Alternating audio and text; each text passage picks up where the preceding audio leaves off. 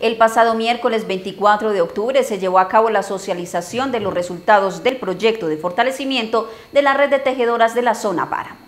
Este proyecto brindó acompañamiento por espacio de año y medio a la red de trabajo colaborativo que incorpora el tejido como narrativa creativa para la construcción de memoria histórica y cultural, al igual que de salud mental. El proyecto surge a partir de una convocatoria de regionalización. Eh, nosotros ya veníamos con unos procesos previos de extensión universitaria en los municipios de Páramo y digamos que teníamos un interés particular de fortalecer los colectivos de tejedoras por la memoria y la vida que ya venían, digamos, trabajando en esta zona, pero que pudieran ellas como colectivos unirse e integrarse como en algunas intenciones comunes. Y eso es como lo que más o menos trabajamos este año y medio. Es un proceso muy lindo porque nos visibilizó primero que todo como mujeres, como tejedoras, como constructoras de un de una sociedad que, es, que está en proceso y en completo cambio. Y nos hicimos visibles en el municipio y en la zona Páramo con eh, las obras que hemos estado realizando. Uno antes era con mucho dolor, uno tejía y lloraba, ya ahora por lo menos gracias a Dios, ya, ya mm, el Señor le daba para todo a uno y ya,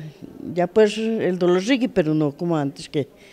ya uno ya va disipando todo. Este proyecto, desarrollado por la Facultad de Enfermería de la Universidad de Antioquia y la Asociación Campesina de Antioquia, fue dirigido a víctimas del conflicto armado de los municipios de Argelia, Nariño y Sonsón. Yo creo que el balance es muy positivo en la medida en que los colectivos se han consolidado, se han logrado ver líneas de trabajo conjuntos, se han logrado, digamos, generar como sensibilidades y motivaciones,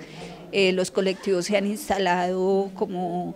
visibles en cada uno de los territorios, con tareas y digamos, eh, horizontes cada uno particulares, pero y diferentes porque no son lo mismo, pues cada uno de los costureros tiene su particularidad, pero creo que sí hemos logrado esto y es que los costureros, las mujeres de los costureros de memoria y y salud mental logren como tener un lugar de reconocimiento en sus comunidades. El grupo se consolidó, hacemos parte de una dinámica municipal, de una dinámica institucional y eso hace que la red en el municipio esté fortalecida